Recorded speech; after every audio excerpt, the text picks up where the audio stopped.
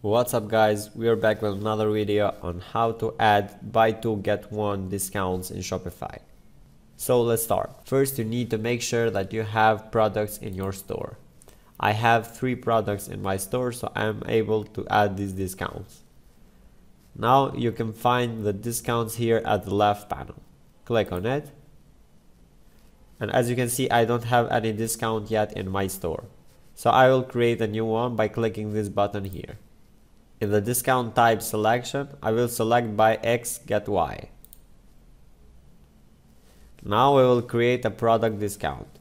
I will name the discount. And this is the discount code that users use to get the discount. Now here is the magic.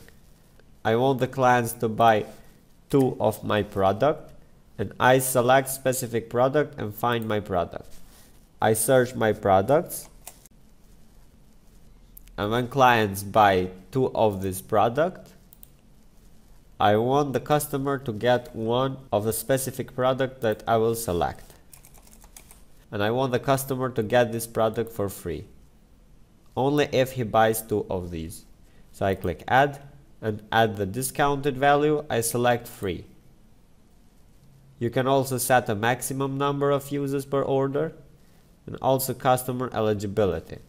And I want the discount to be active immediately, so I leave this date as it is.